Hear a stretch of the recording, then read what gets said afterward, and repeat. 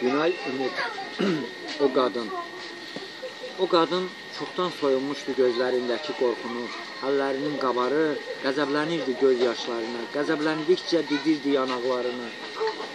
Dərdini divarlarla bölməyi, taleyinə gülməyi, günü gündən ölməyi də öyrənmişdi o qadın. Ta başından telli duvaqlı tənhalığı çoxdan bardaş vurmuşdu toy mağarında.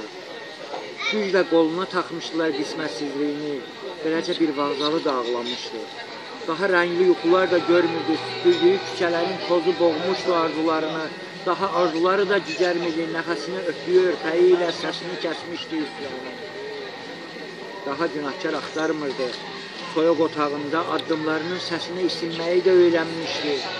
Masasının üstünə hər gecə iki boşqab qoyaraq özü özünə qonaq olmağı da, gecələrin bağrını kiprik-kiprik yolmağı da öyrənmişdi o qadın.